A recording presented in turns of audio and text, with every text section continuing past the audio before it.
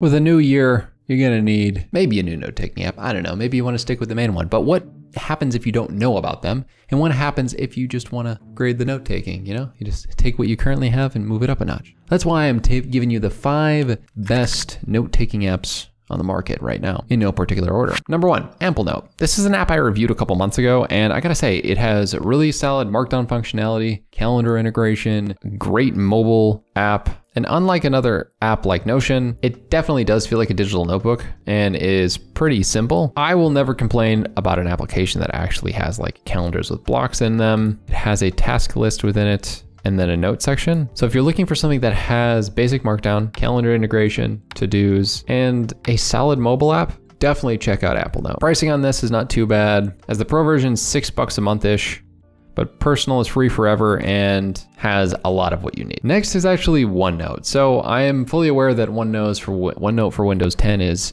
better than the current version of OneNote, but the current version of OneNote is not bad. And it is free for those of us that have the inkling to do stuff for free, I won't complain about this because I was able to take notes pretty handedly in college with this, and I know that it's changed a bit, but the application still has nice things. It's got drawing within it. I know it's not nearly as good as people would like it to be on desktop, but on Microsoft services and tablets, this is a great option. And even I have friends who use OneNote as their note taking app at work. If you're looking for something that's simple, easy to use, and less thought of as a productivity app and more just as a core part of the system, I'd definitely try out OneNote. Next is gonna be Craft. So Craft is one of those applications that, well, you have only a limited number of blocks and the pricing is $5 a month after 1,000 blocks. It is definitely one of the better note-taking apps on the market.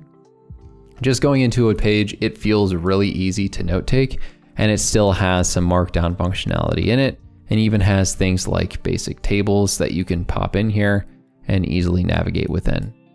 It takes what you like about Notion and puts it into what feels more like a notebook app. It has a lot of different beautiful templates that exist for you to browse and check out. For example, one right here exists. And this shows you really how nice your system can be if you use something like Craft the cards are beautiful and navigating within a system that allows you to have such a pretty aesthetic to it is what made this the Mac app of the year a year ago. Next is going to be Obsidian. So Obsidian is one of those really interesting ones where I will say if you're somebody looking for the most advanced note-taking application that has a really nice community, awesome people within there, and frankly the best linking within other applications, and frankly the best linking within different notes, you're gonna wanna check out Obsidian. Very cool stuff within here. I know I have a very limited set of data here, but in the notes that I took,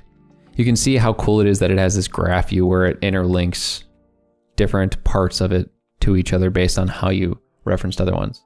The pricing on this is pretty simple. It's free for all the local options, but if you want to go for sync, it's $10 a month per month or 96 per year. So essentially what this does is it keeps your Vault in sync on multiple devices and then publishes the public option. So 20 bucks per month. So essentially you can have like sites through Obsidian. Good friend of mine, Danny Hatcher, uh, uses this pretty extensively. And as you can see, gets kind of crazy what this graph view looks like over time, but I've never seen a better Obsidian publish. I mean, this guy takes daily notes within here. He's had this public journal for a while and it shows the different links that he has within this to each other.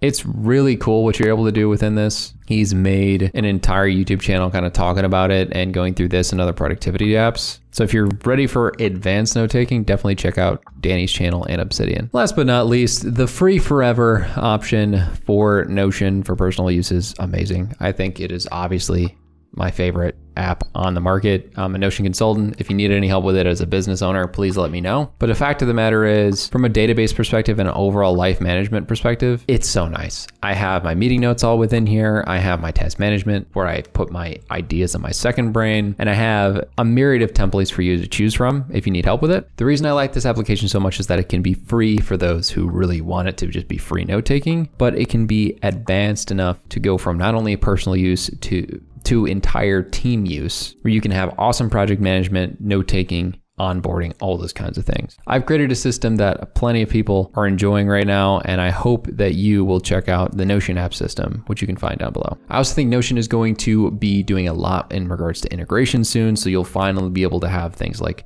Google Calendar integration, subtasks, and recurring tasks that actually assign it to a date property. If you want to learn more about apps like this, make sure to check out this one right here.